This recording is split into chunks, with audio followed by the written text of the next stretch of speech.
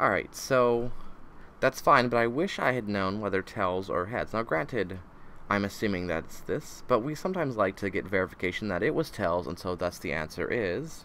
So let's add that to this.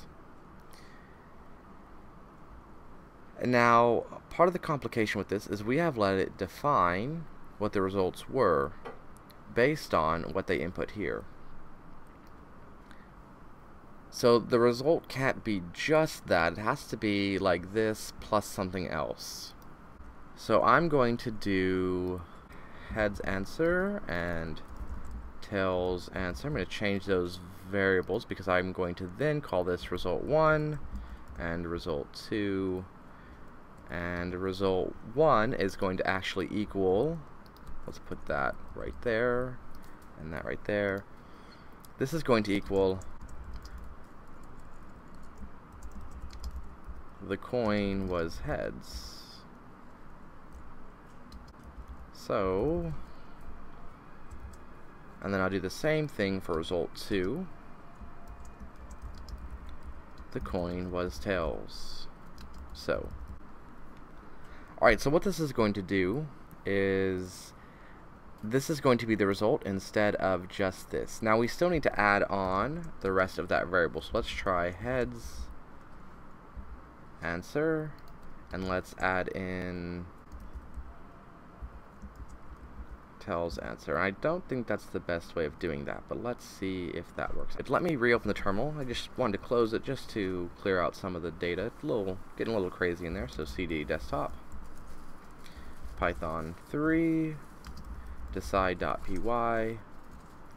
Alright, so let's say, is it going to rain today? Yes. No. Press enter. There we go. Now I don't like that there's no space in between my string and the answer, and that's because I didn't put any space here. So if I add the space here and the space there, and I save it, let's see if that fixed the issue. Is it going to be a rainy day? Yes? No. That's better. I like that better. So there we go. We have a simple coin flip. Now, if instead of a flip of the coin, let's say we were using a six-sided die, this would be six.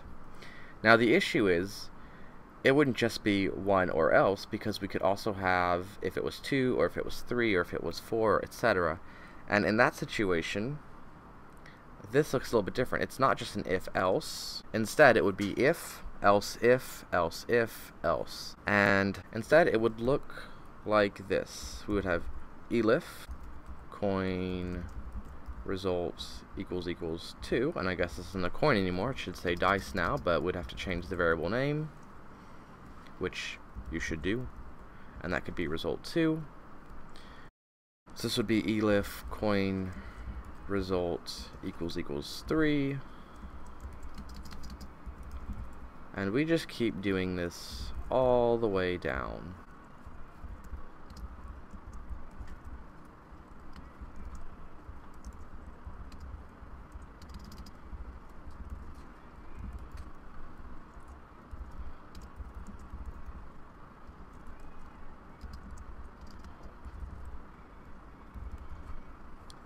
And keep in mind, we don't need a coin result equals equals 6 because that is the final else. So we don't ever need that last one. We just make sure that this says result 6 down here. Now one of the issues is we don't have a result 3 or 4 or 5 or 6 because if you look at our results, we only have 1 and 2. We don't have any others.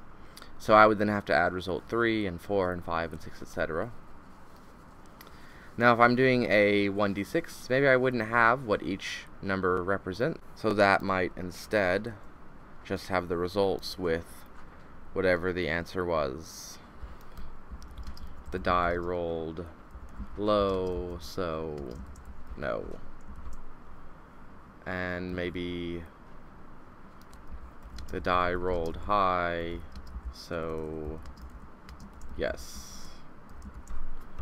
And so maybe this would be like result 6 and that'd be result 1 and I could figure out what's in between, right? I'd probably want to change coin result to be die result, in which case I'd need to change all of these, but you get the idea. So you could change this, it doesn't have to be a coin, it doesn't have to be 1 out of 2, it could be 1 out of 6, or if you want to get some special die, it could be 1 out of 4, because they're a 4-sided die, or it could be 1 out of 20, or, you know, there's a lot of different shapes that you could use. Now, a really common similar thing to something like a coin flip would be like a magic 8 ball. And so if we pull up the magic 8 ball, we can see what that looks like. So if you're not familiar with the magic 8 ball, it looks like an 8 ball. On the other side, there's a little window, and you can ask a question, you shake it, and it's going to show you an answer. Now if we just look it up, not that this is the best resource, but actually it tends to be pretty accurate. We can see here that actually the die inside of a Magic 8 Ball is a 20 answer die. And we can even see here what the standard responses are in your standard Magic 8 Ball. So 10 are positive, 5 are negative, and 5 are neutral. So if you ask a Magic 8 Ball, it's more likely to be yes than no. Hope yes is the best answer. Just out of statistics. So you can try making a magic 8 ball following the same pattern and see if it works.